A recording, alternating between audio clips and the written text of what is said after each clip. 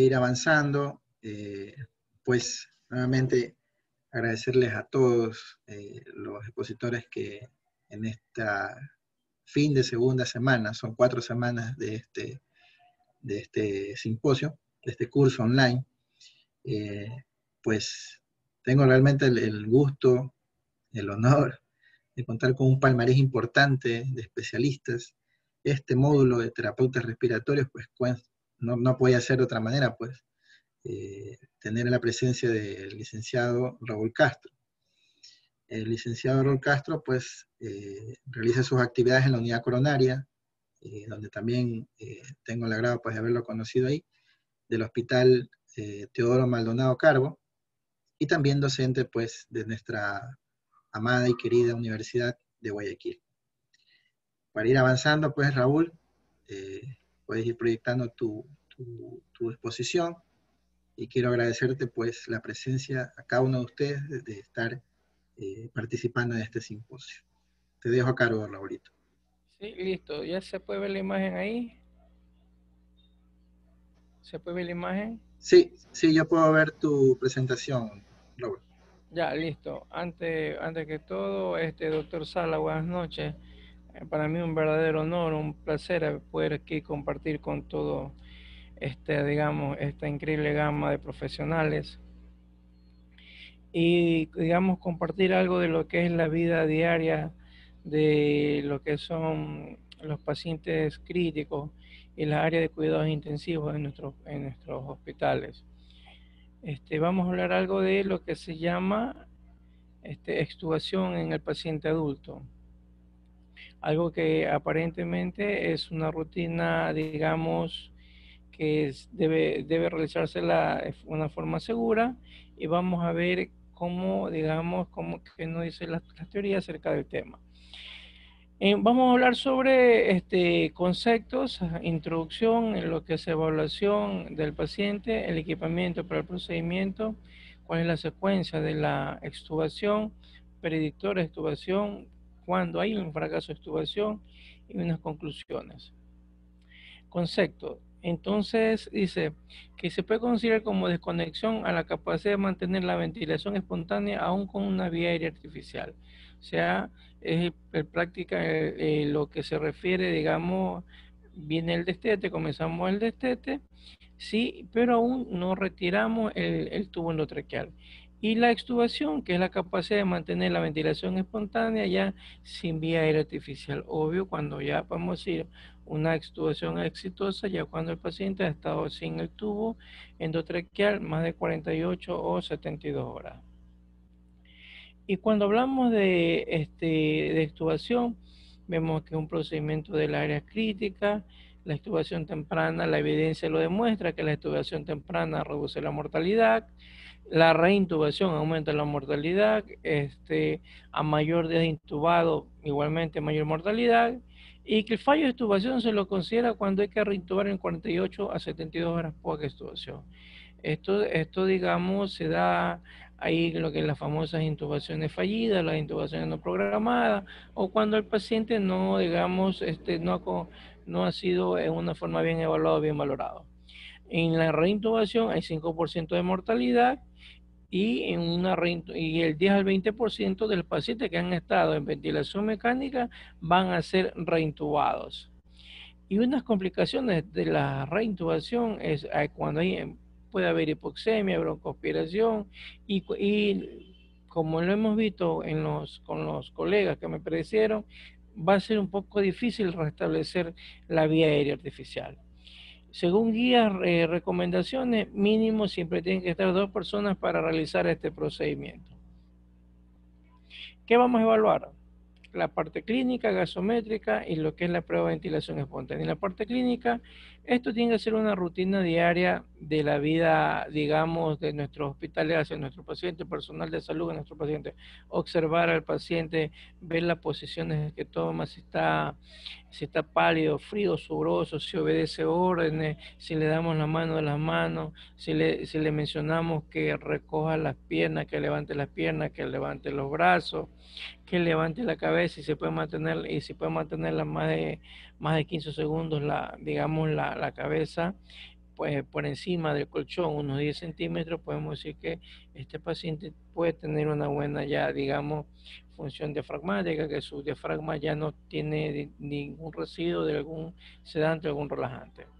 Verificar siempre los exámenes laboratorios, exámenes de sangre, hemograma, electrolito, y más que todo las albúminas, ¿sí?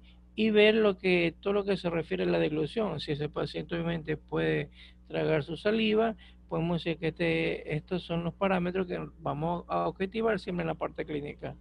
La gasometría es mandatoria y siempre ver la oxigenación, cómo está la ventilación, cómo está la saturación y ver obvio cómo está ese, bicarbonato y siempre relacionar los dos.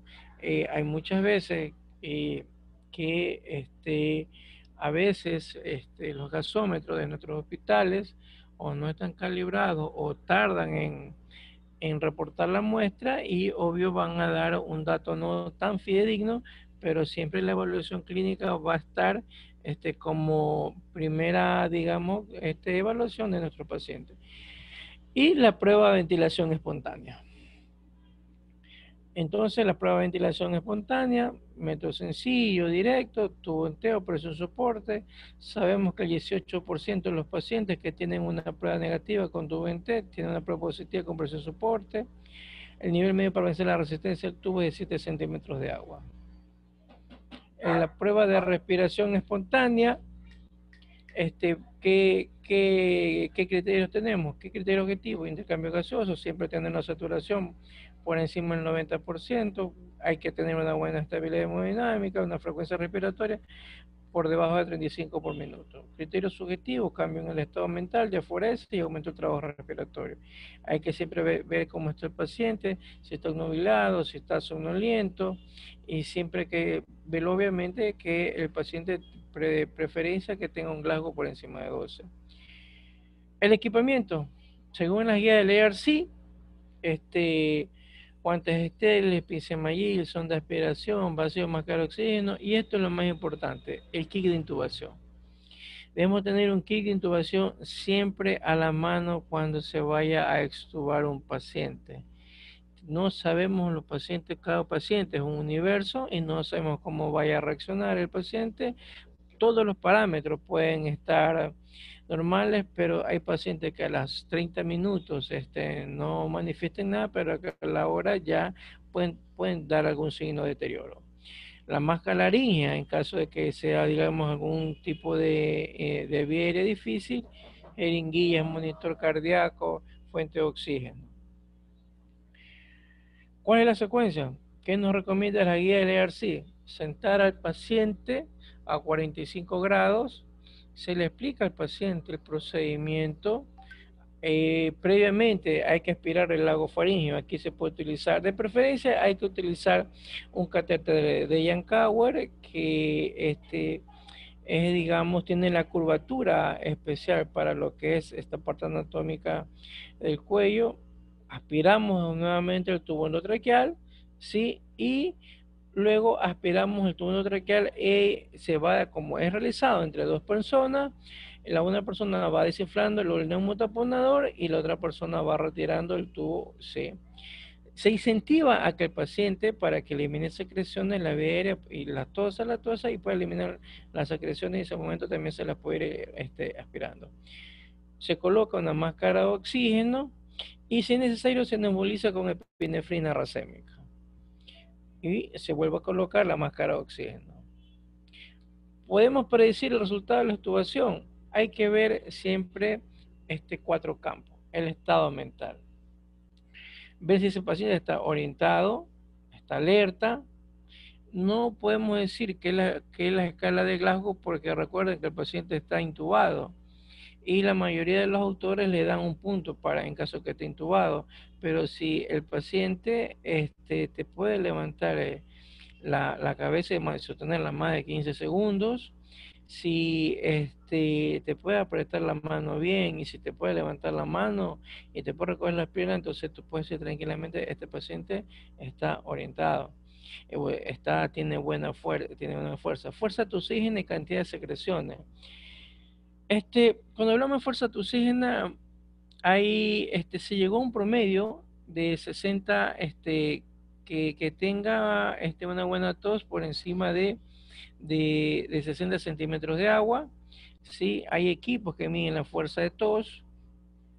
Eh, el equipo de preferencia se lo coloca a nivel de tubo endotraqueal y se eh, le indica al paciente que respire profundo y que tosa.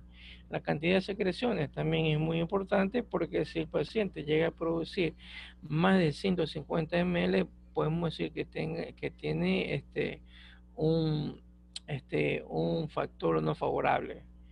La competencia, la competencia leviera superior, hay, siempre hay que valorar que si el paciente puede tragar. Recuerden que el tubo endotraqueal como tal causa este, laceraciones, calzagranuloma, inclusive aunque el porcentaje no es tan elevado, pero puede, puede este, ser conyugante por una fístula traqueosofágica.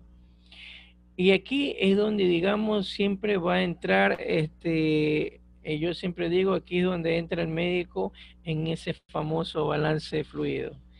En ese famoso balance, balance fluido, porque, este, bueno, 15 años atrás teníamos el, el catete de PVC y, y la teoría decía que, bueno, tenías que tener una PVC de, de 2, 3, 4 centímetros y, y puedes este, tranquilamente este, este, tener un balance un balance no tan positivo y decir que este paciente se lo puede estubar. Ahora, este, hay ciertas técnicas que con lo que digamos el médico puede diferenciar este, este balance de fluido y decir no si este paciente puede o no puede ser extubado. La, ¿Por qué es importante o cómo podemos reconocer si este paciente este, tiene un balance muy, muy positivo?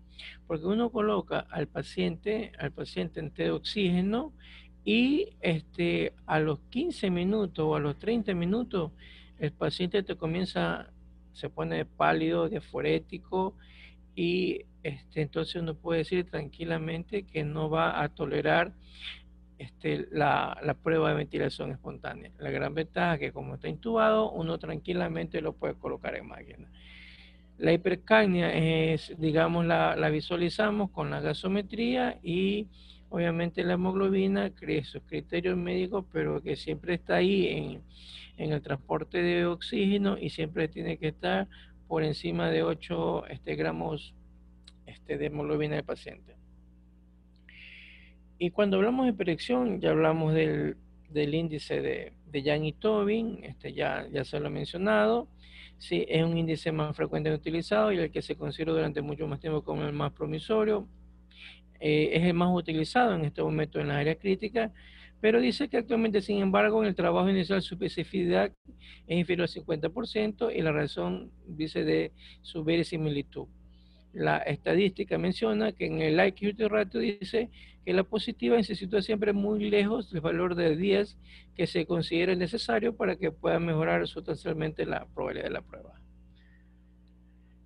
Pero ¿qué es lo que nosotros debemos evaluar siempre? La fuerza muscular. Aquí es cuando yo le digo a mis estudiantes, recuerda que ese diafragma está ahí, que ese diafragma produce el 95% de la fuerza inspiratoria y siempre hay que evaluarlo. Tenemos el NIF que evalúa la fuerza diafragmática y la de los intercostales, que cuando esté por que tenga una, un positivo de más de 30, tranquilamente uno puede decir que el diafragma este, tiene suficiente fuerza para producir, este, para mejorar o para, digamos, ya comenzar la inspiración. La P01 que evalúa de cierta manera el dre respiratorio que tenga menos 2 centímetros de agua, perfecto. Y el pico flujo de tos, más de 60 litros por minuto en pacientes intubados, porque el paciente con traqueotomía aumenta el valor. ¿Sí? Verificamos la prueba de fuga nuevamente y vemos aquí el Waycard test. Aunque no es tan utilizado, pero la teoría lo menciona, la teoría lo menciona, que si el paciente, uno coloca una hoja en blanco a 2 centímetros del tubo endotraqueal y que si el paciente, uno le dice, respire profundo y tosa, y el paciente llega hasta digamos, a expulsar secreciones y llega a la hoja en blanco, uno puede decir que este paciente tiene buena fuerza de tos. Y cuando se produce más de 3 mililitros cada hora de secreción bronquial, se asocia generalmente a, mayor pronóstico, a peor pronóstico. Este es un score de cuidados de la vía aérea. Valoramos tos espontánea, cantidad de esputo y succión en las últimas 8 horas. Tos espontánea va vigorosa, 0, 0 eh, moderada 1, débil 2, ninguna 3. Pero si hacemos este, si se realiza, si se realiza una evaluación de los tres campos y vemos que si tenemos más de ocho puntos se asocia a una mala función de la vía aérea y mayor riesgo de, de fracaso en la extubación. Y ya vamos honestamente a ver lo que es la extubación. Y nos preguntamos, ¿el paciente es capaz de eliminar la secreción de la vía aérea? Bueno, vamos a decirle que sí. ¿Existe riesgo de edema laringio sintomático siguiendo la extubación? Siempre. Recuerde que estos pacientes, eh, ¿qué nos dicen a nosotros pasado el, segundo o tercer día intubado y uno lo extuba? Doctor, me duele la garganta, tengo un dolor en la garganta y nosotros le explicamos que tiene, tuvo una sondita, tuvo para alimentarlo, tuvo un, un tubito que lo ayudó a respirar y ahí este, ellos como que se queda un poquito más tranquilo, pero recuerden que ese, ese dolor de la garganta por ese tubo este, siempre va a estar presente. Entonces, el, test de fuga, ¿sí? su ausencia implica alto riesgo de obstrucción, pero su presencia no la descarta, su relación, continua, relación clínica continúa siendo incierta. Siempre hay un pretratamiento con esteroides. Dos estudios han demostrado que el pretratamiento por 12 a 24 horas previo a la extubación disminuyen los casos de edema de laringe y obstrucción aérea alta. Si se puede dar metilprednisolona 20 o 40 miligramos cada 4 cada 6 horas y una sola dosis previo a la extubación no altera la evolución. Cuando yo realizo la extubación, este, este medicamento para mí es ideal para realizarla, ya, ya se la he mencionado antes, la epinefrina racémica, la epinefrina aerosolizada, Dice, no he demostrado ventajas sobre la epinefrina en niños, pero ahí está la dosis, 2.5 mililitros de epinefrina, el 1%. Esto, les aseguro, va a ayudar a sus pacientes. Nos queda también la BNI, que es efectiva en reducir el índice de reintubación cuando es una cuando es usada inmediatamente después de extubación en pacientes con alto riesgo de demalaringio. El estudio WIN, el estudio WIN demostró que a todos los pacientes que estuvieron más de 24, 48 horas intubados en ventilación mecánica, sí o sí había que realizar la BNI y esto redujo sustancialmente todos los casos de reintubación.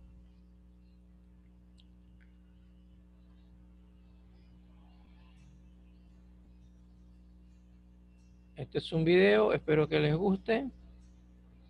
Ahí está el licenciado Sabando cuando tenía 25 años.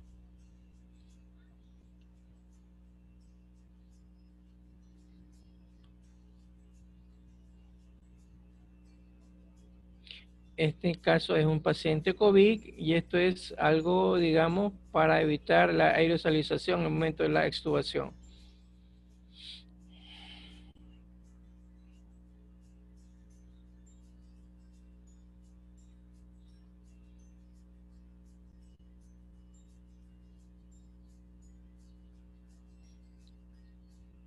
Como ustedes se dan cuenta, siempre están dos personas realizando el procedimiento.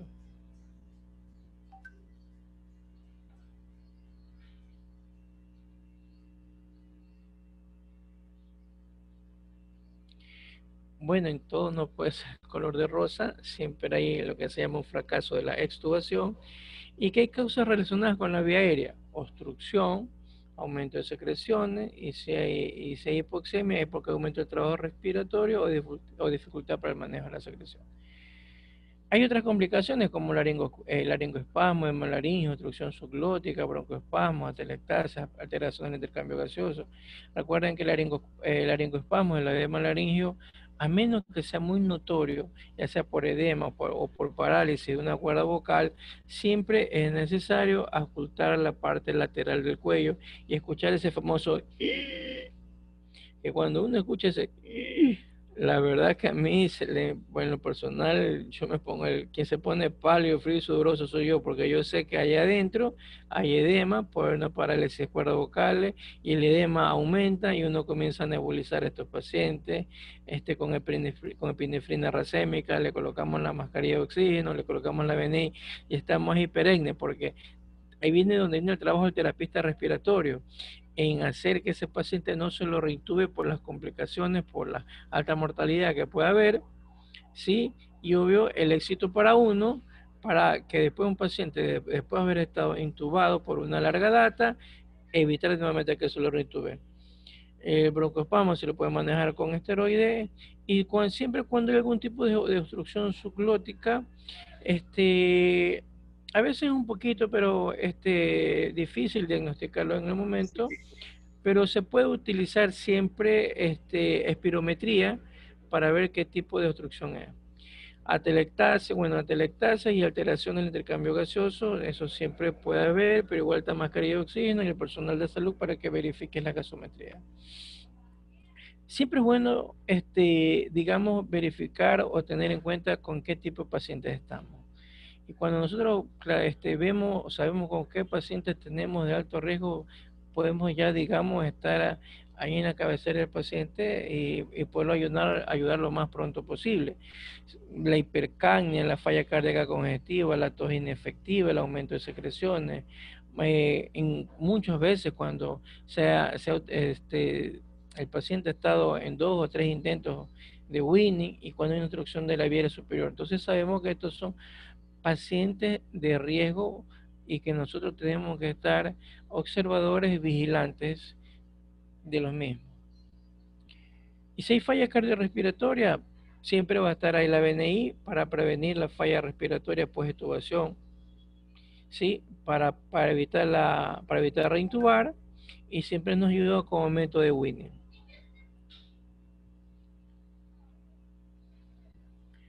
Conclusiones. Hay que valorar al paciente diariamente, eso es mandatorio. Los predictores son esenciales. Hay que usar primordialmente hay que, la postestubación. Eh, recuerden que el paciente este, recién a las 48, 72 horas podemos decir que la estubación fue un éxito y que las complica y que siempre hay que estar en este en este periodo hay que estar atento a esos pacientes identificar y tratar las posibles complicaciones y estubar siempre lo más pronto posible este, recuerden que la premisa de la ventilación mecánica es iniciar la ventilación mecánica, instaurarla lo más pronto posible y asimismo retirarla en cuanto se pueda. Les agradezco por su tiempo. Esto, digamos, es algo que yo he querido compartir con ustedes. Y si tienen alguna pregunta, al doctor Salas, por favor. No, no, a los expertos, los expertos. Eh, bueno, aprovechen una pregunta, eh, aprovechando que está acá, pues Raúl. Eh, tienen unos segundos. Para aprovechar, Raúl, a ver si alguien se anima a hacerte una pregunta. ¿Qué opinas tú de la extubación? Porque bueno, ahora hay bastantes intensivistas, diría yo, ¿no? para lo que había antes, había una camada importante y están cada vez egresando más. Y tenemos intensivistas horas de guardia, tenemos de diferentes turnos. Eh, ¿Hay un beneficio que has notado quizás en, las situaciones hora de la tarde o de la noche? Eh, ¿Cómo? Este, sí. Ya, ya, este doctor, este, le, cuento, le cuento que en algún momento, en algún momento, por lo menos en el Hospital de Seguro, este, donde yo comencé a hacer mi vida profesional este, bastante tiempo, este, las extubaciones eran solo de mañana y en la tarde y por una respuesta muy sencilla, el personal estaba alerta. El personal estaba alerta y a nosotros no, nos consta a nosotros que el personal en la mañana, en la tarde está despierto, estamos alerta, estamos ahí en el paciente y en la noche generalmente cómo están las luces, para que los pacientes descansen, les apagan un momento las luces. ¿Y qué es lo que hemos visto generalmente? Cuando la alarma del ventilador suena es porque el paciente ya se ha retirado el tubo. Hay una eh, extubación, digamos, no programada. pero las recomendaciones, las guías, en un momento yo lo leí en algún artículo, este sí, preferiblemente es en la mañana y en la tarde, es porque el personal de salud tiene que estar ahí alerta.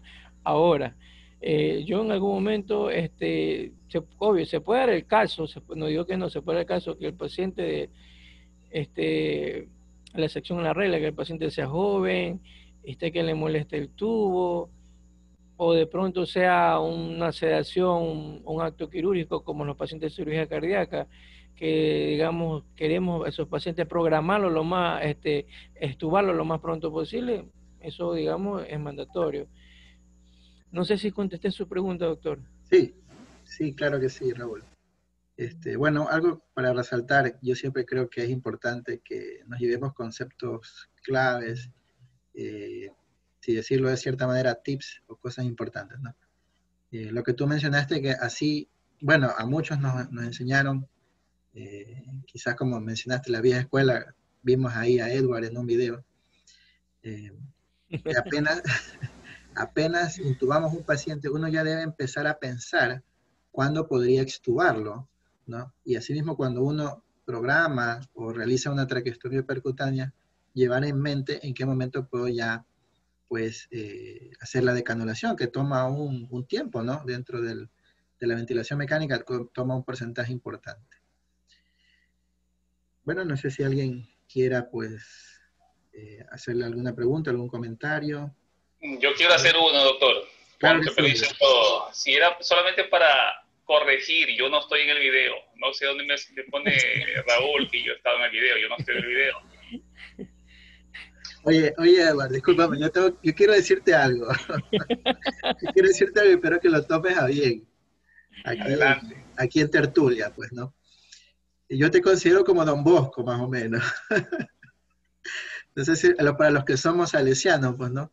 Oh. Don Bosco es un formador de jóvenes, ¿no? Yo siempre que, que mencionaba, pues, en este curso que, que, iba a tener un módulo de terapeutas respiratorios, los terapeutas me decían, y, está Edward, está Raúl, está eh, Jorge, por ahí. Entonces, claro, eh, Edgar es relativamente nuevo, pues, ¿no? Está ahí acompañándonos agradablemente. Eh, pero hablar de Edward Sabando y cualquiera de ustedes tres, peores y Raúl, pues eh, es un gran palmarés que siempre lo he dicho en este curso, me, es grato contar con mis amigos en este momento y pues algunas de las amigas que ya van, que hayan, que hayan expuesto, pues, ¿no? Bueno, eh, no sé si alguien quiere aprovechar unos segundos, si se anima a una pregunta, de pronto quieran escribirlas en honor al tiempo vamos a ir avanzando. Como lo mencioné, eh,